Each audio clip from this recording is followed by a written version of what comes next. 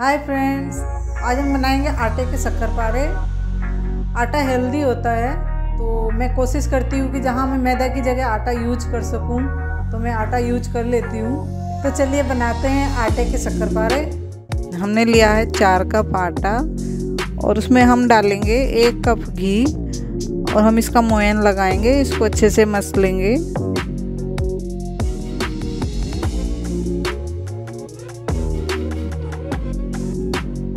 जब घी मिल जाए तो हम इसमें हल्का गर्म पानी मिला के इसको गूथ लेंगे और इसका एक सॉफ्ट डो बना लेंगे। एक हम इसका सॉफ्ट डो बना के अच्छे से मसल लेंगे इसको।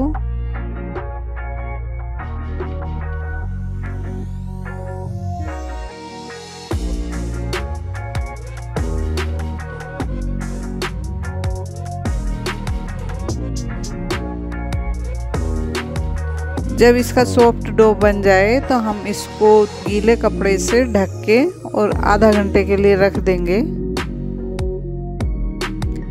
अब आधा घंटे बाद हम इसको थोड़ा सा तोड़ के उसका गोला बना के अब हम इसको बेलेंगे।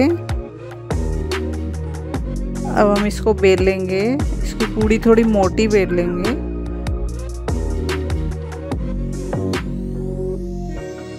और अब हम इसको चाकू से काट लेंगे। हम इसके स्क्वायर में पीस काटेंगे।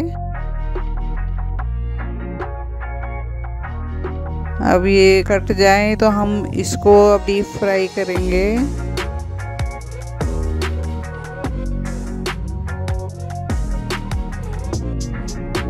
हम मीडियम गैस पे डीप फ्राई करेंगे ताकि ये क्रंची हो जाए और अंदर तक सिक जाए।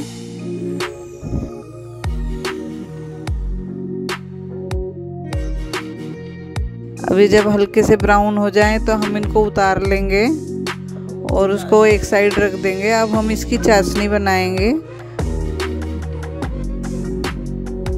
अब हम एक कढ़ाई में एक कटोरी चीनी और आधा कटोरी पानी लेके उसको चाशनी बनाएँगे।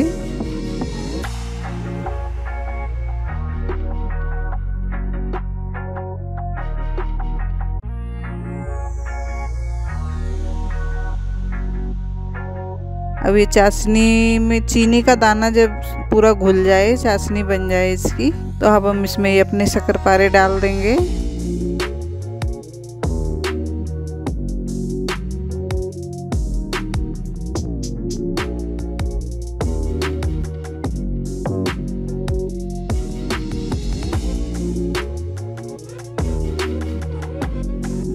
अब हम गैस बंद कर देंगे। और हम लगातार इसको चलाते रहेंगे ताकि ये आपस में चिपके ना।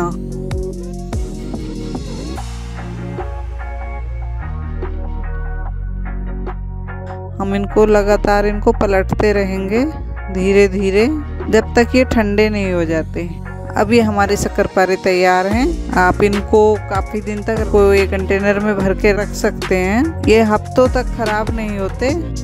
अब ये हमारे शक्करपारे रेडी हैं।